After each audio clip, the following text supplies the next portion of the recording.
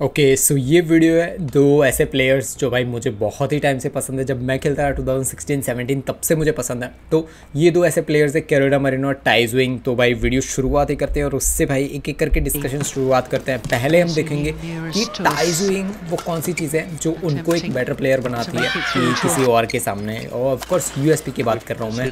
Footwork और सारी चीज़ें ऑफकोर्स एक एक करके आगे के वीडियोज़ में आती रहेगी एक एक करके ब्रेक डाउन करेंगे हम सारे प्लेयर्स के बारे में। बट पहले हम डिस्कशन शुरुआत करेंगे टाइजोइंग से। कौन सी ऐसी चीज़ है जो उनको डिफरेंट बनाती है दूसरे प्लेयर से? तो वो है कि अनप्रडिक्टेबल शॉट्स और ये भाई बहुत ही बढ़िया एक चीज़ होती है। मैं ट्रिक शॉट्स की बात नहीं कर रहा हूँ। ट्रिक शॉट्स ऑफकोर्स भाई कभी कभी काम करते हैं। मैं अनप्रडिक्टेबल शॉट्स की बात कर रहा हूँ कि जैसे आप टॉस मारने जा रहे हो तो वो छोड़ देगी उसे और एक नया शॉट बना देगी उसको ड्रॉप मार देगी।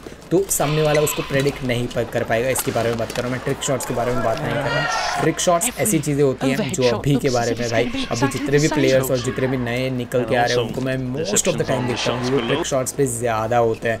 जैसे कि मैं कुछ प्लेयर्स के नाम अभी ले सकता हूँ बट ठीक है नहीं ले रहा हूँ। बट वो लोग उनके जैसे इक्कीस पॉइंट की मैच होगी उसके अंदर भाई ऑफकोर्स पाँच से छः से ऐसे शॉट्स हाँ। होंगे जिसपे वो ट्रिक शॉट्स ट्राई कर रहे होते हैं। ट्रिक शॉट से मैचेस नहीं जीती जाती। ली लिंडन ये और ऐसे और तोफ़ी दायत ये ऐसे प्लेयर्स हैं जिनको ट्रिक शॉट्स आपसे थाउज़ेंड परसेंट ज़्यादा अच्छे आते हैं। बट आपको देख कितने गेम में उनको ट्रिक शॉट यूज़ करते हुए देखा है। None of the time most of the time जैसे इक्कीस शॉट्स इक्कीस पॉइंट्स की रेडी होती है उसमें से एक या दो वो भी जब उनको नीड हो शायद शायद। और जब ऐसे सीरियस मैचेस हो जैसे लिंडन के सामने लीचो हुए तो तो भाई आप गिने लो कि भाई ना के बराबर उनके ट्रिक शॉट्स होते हैं। वो जिस पे फोकस करते हैं वो है रिलीज़ और शॉर्ट्स कैसे खेलना है। तो वही चीज़ बोल रहा हूँ कि टाइजुइन कैसे वुमेन सिंगल्स में ऐसे चेंज लेके आती है तो वो यही है। अनप्रडिक्टेबल शॉट्स के बारे में बात है कि जैसे फ्रंट में अगर वो ड्रॉप मार आपने सामने वाले आपका अपोनेंट है उसने नेट पे ड्रिबल किया है तो ऑफकोर्स आपका क्या रिज़ल्ट होगा? आप जाके ड्रिबल करोगे या फिर लिफ्ट करोगे? टाइजुइंग वहाँ से पूरा ऐसे रेस्ट वो घुमा के क्रॉस में भी मार सकती है। तो आपको सारे शॉट्स के लिए रेडी रहना पड़ता है। तो ये एक बहुत बड़ी यूएसपी जो टाइजुइंग है उनकी बन जाती है। है। सेकेंड चीज़ जिस पे बहुत ज़्यादा यूएसपी बोल सकते हैं टाइजुइंग की है वो है फुल कोट का कवरेज जैसे आंसर की लास्ट वीडियो में हमने बात की थी कि कितने ईजी तरीके से पूरे कोर्ट को वो कवर कर लेती है। सिमिलरली टाइजुइंग है वो उनका भी कोट कवरेज बहुत ही बढ़िया है। अब फ्लॉलेसली जैसे दो प्लेयर दो एग्ज़ाम्पल मैं ले लेता हूँ ऑफकोर्स मैं लीजेंड के नाम हमेशा लेता रहूँगा उनके नाम हमेशा आते ही रहेंगे। वो है लीचोंगवी और लिंडन तो हमेशा आप अगर देखोगे तो लिंडन आपको कोर्ट में में जैसे चलते हुए दिखेंगे। वो आपको दिखेगा कि नहीं वो स्टेपिंग्स ले रहे हैं। आपको लगेगा कि यार मूव कितना इजी कर रहे हैं। सिमिलरली जब आप लीचोंगवी का गेम प्ले देखोगे तो एक्सप्लोजिव थोड़ा बहुत ज़्यादा बोल सकते हैं कि वो जंप स्मैशेस ज़्यादा लेते हैं जंप ज़्यादा लेते हैं। बट जब टाइम आता है रेली को मतलब कन्वर्ट करने का कि भाई रेली को चलाना पड़ेगा।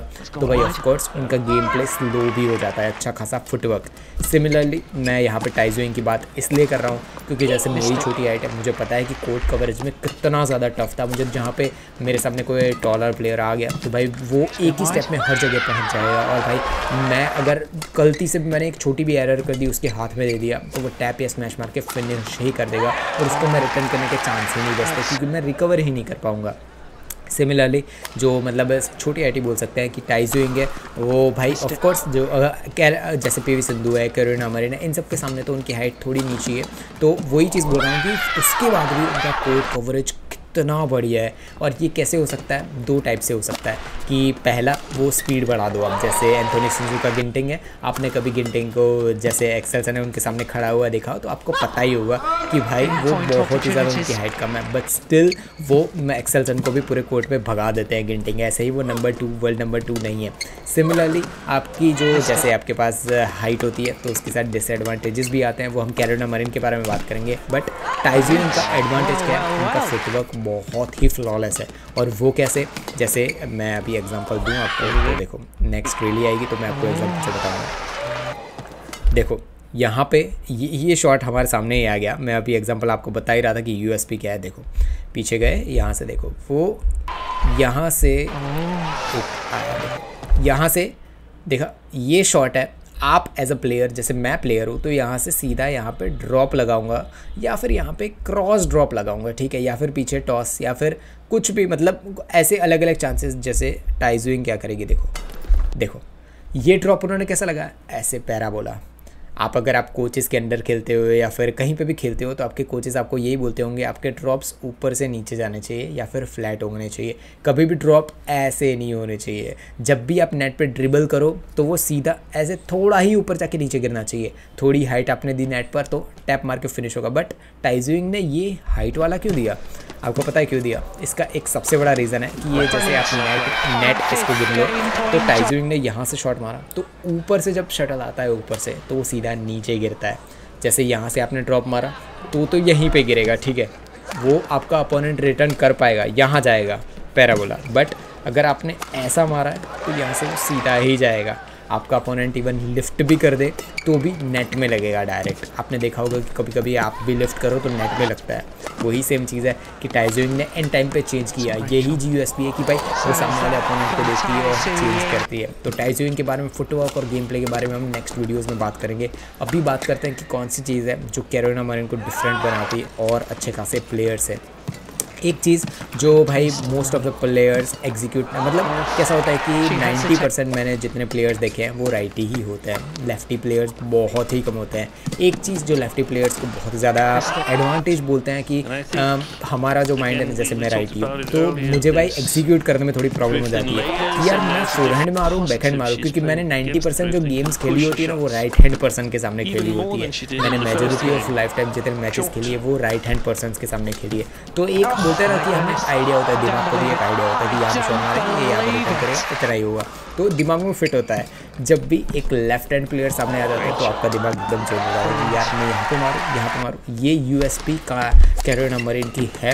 ऑफकोर्स इंटरनेशनल लेवल पे उतनी ज़्यादा नहीं हो पाती बट स्टिल अगर आपको one percent two percent advantage advantage नहीं बोल सकते ऑफकोर्स ये एक चीज़ आपको भाई इम्प्रूव करनी पड़ेगी। आपको आपका जो लेफ़्ट हैंड अगर आप लेफ्टी और आप देख रहे हो तो आपको ये चीज़ को थोड़ा बहुत एडवांटेजेस में लेना भी चाहिए। आपका रिस्ट वर्क जैसे साम, आपके सामने राइटी प्लेयर है आप ड्रॉप मारोगे तो सामने वाला हो सकता है कि कुछ और सोच रहा हो क्योंकि आदत जो होती है ना हमेशा राइटी प्लेयर्स की होती है most of the time so यही चीज़ यू एस पी कैरोना को बनाती है। सेकेंड चीज़ है ये ये पूरा ये अभी एक दो साल पहले ही वाला वीडियो शायद।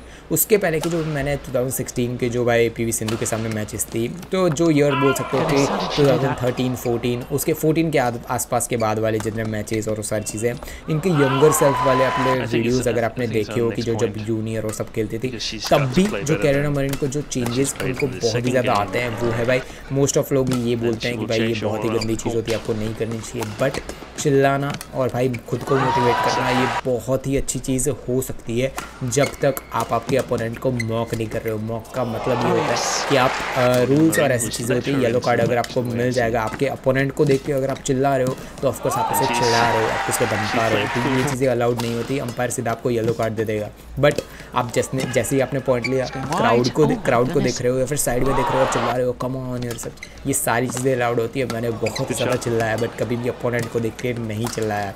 सेम चीज़ है कि जब कैरोना मरिन चिल्लाती है पॉइंट्स लेने के बाद तो ये चीज़ उनको मोटिवेट करती है नेक्स्ट पॉइंट के लिए। ये चीज़ मैंने मोस्ट ऑफ़ द टाइम देखी है। कि पी वी सिंधु भी चिल्लाती है बट वो कभी कभी है ना वो शांत भी हो जाती है। वो देखती है कि भाई अच्छा अब ये जब हार रही होती है ना तो खुद को मोटिवेट उस लेवल पर मैंने अभी देखा है। लास्ट एक दो साल की बात कर रहा हूँ उसके पहले की बात नहीं कर रहा मैं। वो खुद को उस लेवल पर मोटिवेट नहीं कर पाती जैसे वो सेट हार रही है। तो एक पॉइंट उनको मिल गया ना जैसे टेन टू से पीछे लैग कर रही है अगर पी वी सिंधु उनको तीन पॉइंट मिल गए ना अगर तो वो चिल्लाना उनका शुरू हो जाता है मैं एक पर्टिकुलर मैं फिर से सिंधु की बात नहीं करूँगा ऐसे कुछ और प्लेयर्स भी हैं। जो ट्राई करते हैं ऐसे चिल्लाना और सब कुछ। आपने आंसे को देखा होगा चिल्लाते हुए पर वो चिल्लाती कभी आपने देखा है वो पूरी मैच जीत जाती है उसके बाद घूमेंगी और वो उनका जो कोच होते हैं ना जो अभी तक समझी हुए हैं उनको देख के चिल्लाएँगे। यही चीज़ें है चिल्लाएँगे इन सेंस वो मैं जीत गई और वो सारी चीज़ें सेलिब्रेशन बोल सकते हैं उस चीज़ को। तो यही चीज़ है कि कैरन मरिन को ये चीज़ बहुत ही ज़्यादा एडवांटेजेस है कि उनको भाई वोकल है अपने एक्सप्रेशन के रिलेटेड कुछ लोग जो भाई दिमाग में बहुत ज़्यादा सोचना शुरू कर देते हैं कुछ प्लेयर्स हैं ऐसे जिनका मैं नाम नहीं लेना चाहता भाई दिमाग वो आपको क्लियर दिख जाएगा कि यार ये बहुत ही ज़्यादा सोचे जा रहे हैं। सोचे जा जब आप बहुत ही ज़्यादा सोचते जाते हो तो भाई आपका कोच जहाँ जो पीछे पीछे बैठा हुआ है वो आपको क्यों बैठा हुआ है? वो आपको समझाने के लिए तो बैठा है। बट सेम चीज़ होती है कि आप मोटिवेट आपको खुद को नहीं कर पाते हो और वो मैच और मोस्ट ऑफ़ द टाइम अगर आप खेलते हो तो आपको पता ही होगा, आप जीत नहीं पाओगे ऐसे तो।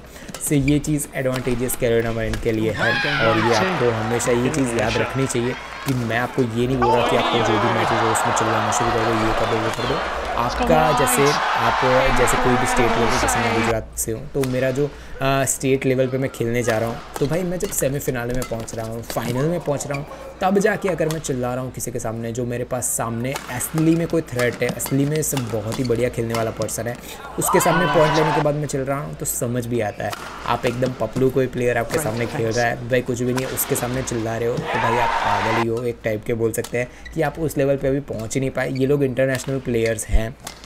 ऑफ़ कोर्स मैंने देख रखा है मैंने अंपायरिंग कर रखी है। मैंने बहुत सारे टूर्नामेंट्स में अंपायरिंग की है देखा है कि एक छोटे छोटे बच्चे होते हैं आठ या नौ साल के होते हैं वो लोग को भी माँ बाप बोलते हैं कि चिल्लाओ ये करो वो करो। आपको कोई नीड इस चीज़ की है ही नहीं कि भाई ऑफ़ कोर्स ऐसे प्लेयर्स को देखते हैं जैसे कैरोलिना है पी वी सिंधु है। ऐसे टॉप क्लास प्लेयर्स को वो देखेंगे कि यार ये लोग चिल्ला रहे तो हमें भी चिल्लाना चाहिए। मैं जहाँ पे अकेडमी में था वहाँ पे तो भाई साहब आपको जो चिल्लाना है वही देखी वो चीज़ें। आप आपके लेवल के प्लेयर हो या फिर आपसे बेटर प्लेयर हो उसके सामने पॉइंट देने के बाद चिल्लाओ भाई ऑफ़ कोर्स भाई इस आस पास देख के उसको देख के तो कभी भी नहीं कभी भी आपको अपोनेंट को मौक नहीं करना है। और अगर अंपायर हो ना हो ये आपके कोर्ट के एडिक्वेट्स होते हैं आपको ये कभी भी नहीं भूलना चाहिए। तो भाई ऑफकोर्स ये बहुत ज़्यादा ज्ञान हो गया। बट एक चीज़ जो कैरोना मरीन से सीखने जैसी है वो ये है कि वो खुद को मोटिवेट करती रहती है इवन वो हार रही है। आ, मैंने लास्ट उनको शांत अभी देखा था फ्रेंच ओपन में और लास्ट वीक जब पी वी सिंधु के साथ वो केस हुआ ना उसके बाद थोड़ा बहुत उनको शांत देखा है। बट से हाँ वहाँ पे तो गलती थी ऑफकोर्स करेना मैन की। वो बोलते हैं ना कि भाई बहाव में बहुत ज़्यादा आ गई। वो वो केस कभी और डिस्कस करेंगे हम किसी और चीज़ में।